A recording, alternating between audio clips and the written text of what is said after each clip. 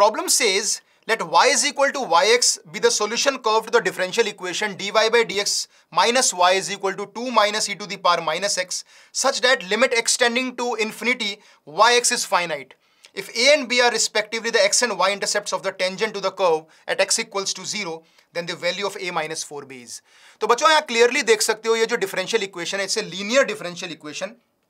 तो यहाँ पे हम लोग इंटीग्रेटिंग फैक्टर निकालेंगे which is e to the power minus x और यहाँ पे जब हम सॉल्यूशन लगाएँगे, y into integrating factor is equal to integration of right वाला फ़ंक्शन इंटू इंटीग्रेटिंग फैक्टर इसको जब सॉल्व किया जाएगा तो यहाँ से आपका कर्व आएगा y equal to minus two plus e to the power minus x plus c into e to the power x अब क्योंकि लिमिट एक्सटेंडिंग टू इन्फिनिटी आपका फाइनाइट है तो e to the power infinity infinity को tend करता है तो that's Y C को ज़ीरो होना पड़ेगा. दैट्स मीन जो कर्व आएगा, वो आएगा minus two plus e to power minus x अब एक्स इक्वल टू ज़ीरो पर वाई की वैल्यू माइनस वन आ रही है और हमें लिखना है एक्स इक्वल टू ज़ीरो पर टेंजेंट की इक्वेशन तो स्लोप ऑफ़ द टेंजेंट हो जाएगा आपका minus one you can see this